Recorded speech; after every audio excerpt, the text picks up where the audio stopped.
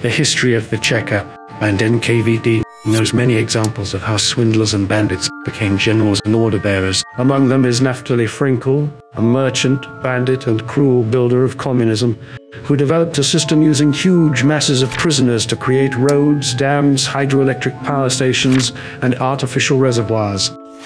Alexander Solzhenitsyn described Frenkel in his book The Gulag Archipelago.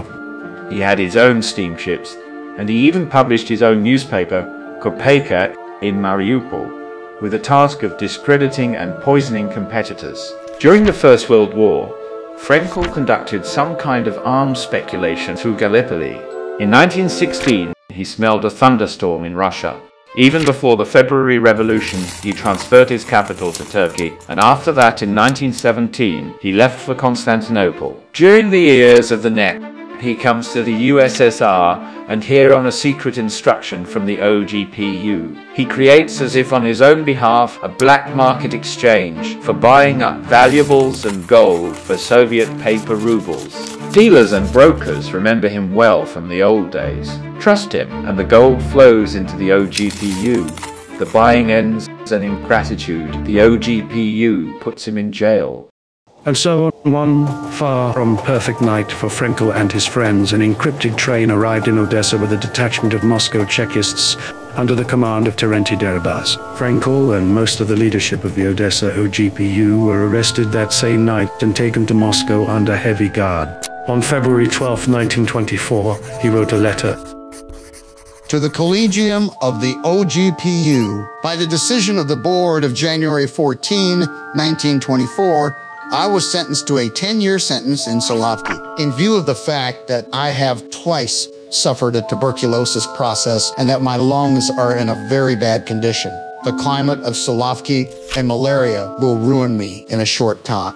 In view of the foregoing, I ask you to allow me to serve my sentence in some concentration camp in Moscow, appointing a medical commission to examine me. With my health, I need not only a good climate, but also a dry room and a special personal regimen, especially if you take into account the length of the sentence. That's it, and not otherwise. Naftali Aronovich Frenkel, a prisoner in the Butyrka prison. The camps existed before Frenkel, but they had not yet taken on that final and unified form that smacks of perfection. Every true prophet comes just when he is most needed.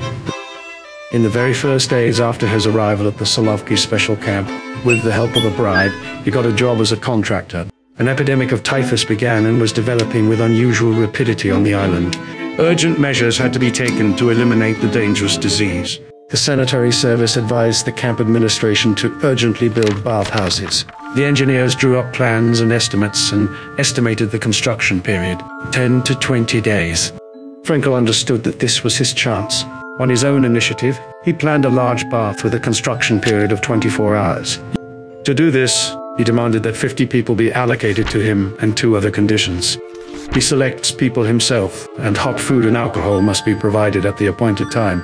Having received a go-ahead from his superiors, Naftali Frenkel walked through the barracks. Here, he selected 30 Kronstadt sailors and 20 old men from the disabled barracks. He brought them to the construction site where the minus 25 degree frost was fierce. He put the workers in two lines, sailors in one, disabled people in another. In 24 hours, we have to build a bathhouse here. If we don't make it in time, then you and me and them Frenkel pointed at the old people with his finger. will be shot against the wall. Hot food will be brought here and a glass of alcohol. And now we begin. The prisoners set to work. Frenkel clearly led the process. They built in all directions. The walls were not yet fully erected, but bathing boilers were already being installed. The roofing was started and a stove and dryer were placed inside. The work was completed three hours ahead of schedule. After that, the life of the newly minted prisoner changed. How exactly Frenkel transformed himself from prisoner to camp commando is mysterious. The story goes that when he arrived at the camp, he found shocking disorganization and waste of resources, both human and material. He promptly wrote a precise description of what exactly was wrong with every one of the camp's industries, including forestry, farming, and brickmaking. He placed the letter in the prisoner's complaints box where it was sent as a curiosity to Genrik Yagoda, the secret police bureaucrat who eventually became leader of the NKVD. It is said that Yagoda immediately demanded to meet with the letter's author. Frankel himself claimed that he was whisked off to Moscow to discuss his ideas with Joseph Stalin and Lazar Kaganovich, one of Stalin's closest associates. Again, the truth is unclear. Records show that Frankel met Stalin in the 1930s and was protected by Stalin during the years of the Great Purges. However, no record has been found of any meeting in the 1920s. Almost a year later, on May 4, 1927, camp admin Theodore Zeman submits a new report.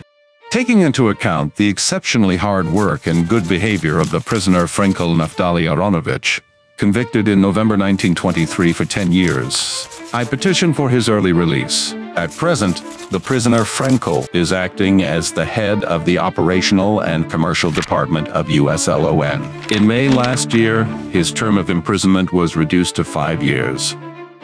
Petition for the release of the prisoner Frankel is also prompted by the fact that the use of a prisoner in such a responsible position is inconvenient for many reasons, which I have repeatedly been instructed, in particular by the prosecutor of the Supreme Court of the USSR, Konrad Krasikov, who also spoke out for his release.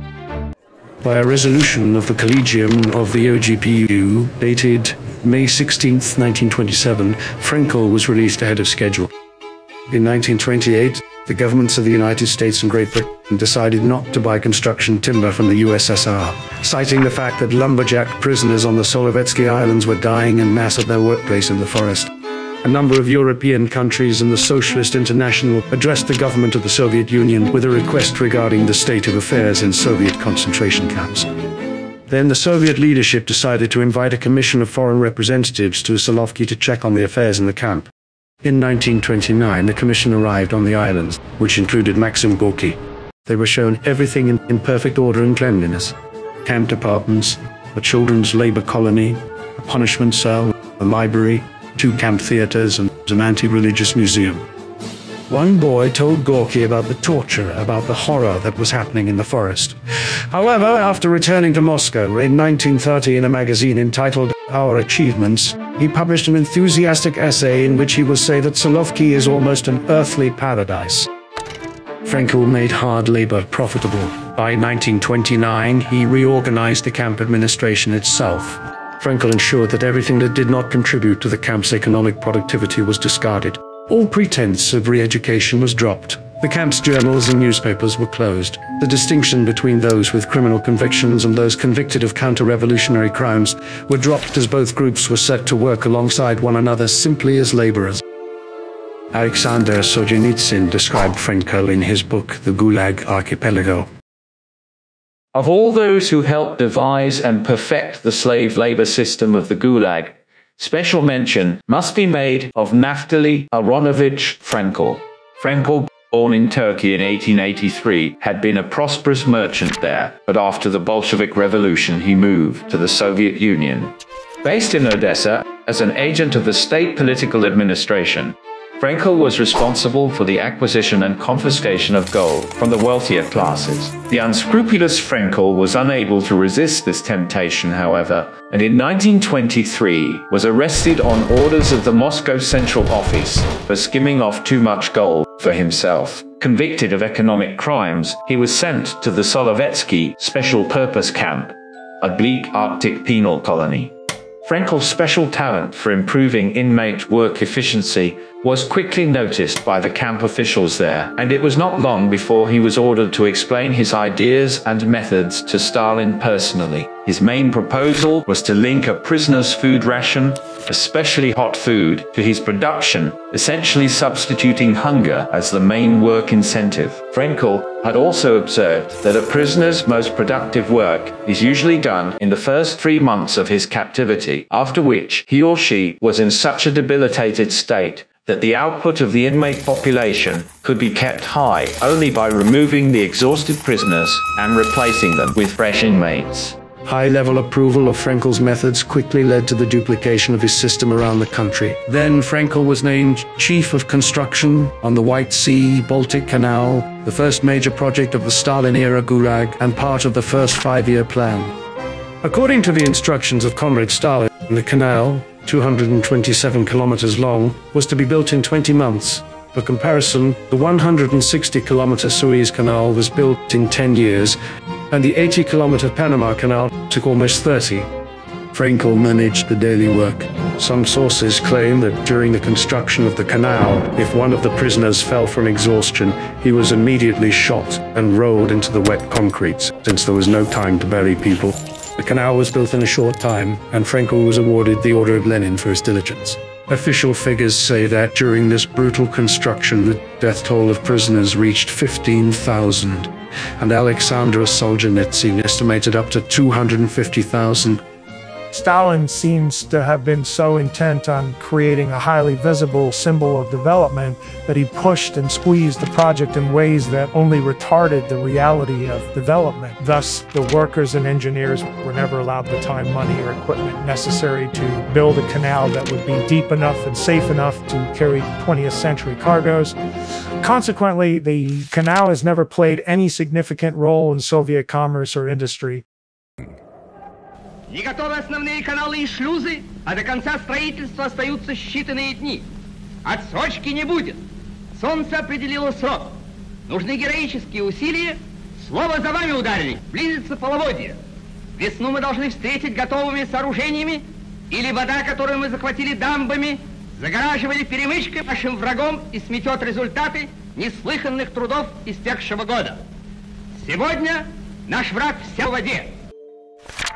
based on the experience of building the White Sea-Baltic Canal. On August 28, 1933, Naftali Frankel was appointed head of the Baikal-Amur Correctional Labor Camp, or BAMLAG, also known as the Railway Gulag. One of the tasks assigned to the Baikal-Amur mainline or BAM is the duplication of the functions of the Trans-Siberian Railway. Due to its proximity to the territories of other states, the Trans-Siberian Railway could easily become a victim of intervention and was during the Sino-Soviet conflict of 1929. A so-called Rokadnaya, or bypass road was needed, running parallel to a possible future front line. But the terrible year of 1937 came. Frankel's surviving enemies howled with delight when the news of his arrest spread. He was charged with spying for Turkey, France, and Japan. He was even, as contemporaries testified, put in the inner prison of the Lubyanka.